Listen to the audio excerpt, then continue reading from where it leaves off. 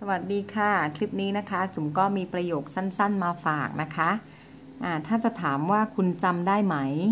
นะภาษารัสเซียจะพูดว่า вы помните вы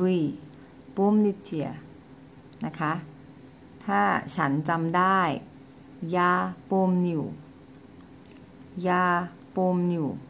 นะคะ ฉันจำไม่ได้ ก็ใส่เนียลงไประหว่างกลาง เป็น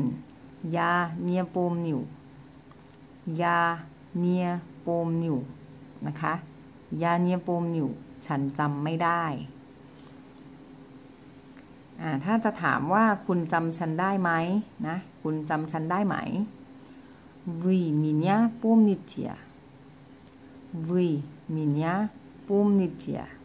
หรืออันนี้สลับกันได้นะคะ вы помните меня вы помните меня ก็ได้นะคะ สามารถที่จะสลับที่กันได้ ความหมายยังเหมือนเดิมนะคะ ก็คือคุณจำฉันได้ไหมนะถ้าเราเป็นร้านขายของนะคะ บางทีเนี่ยลูกค้าเคยมาร้านเราแล้วนะคะ แล้วก็พอปีหน้าเนี่ยเขามาอีกนะคะ เขาอาจจะถามเรานะคะว่า вы меня помните หรือว่า вы помните меня นะ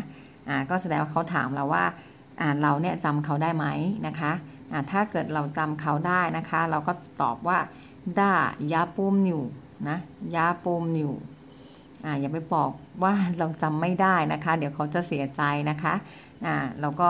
ต้องบอกว่าจำไว้ก่อนจำได้ไว้ก่อนดีกว่านะคะ เขาจะได้ประทับใจนะคะ ว่าเราจำเขาได้นะคะโอเคค่ะ คลิปนี้นะคะ จุ๋มก็เอามาฝากเพียงเท่านี้นะคะ ถ้ามีตรงไหนที่จุ๋มพูดผิดหรืออธิบายผิด จุ๋มก็ต้องขออภัยไว้ณที่นี้ด้วยนะคะ ขอบคุณมากค่ะที่ติดตามรับชมค่ะ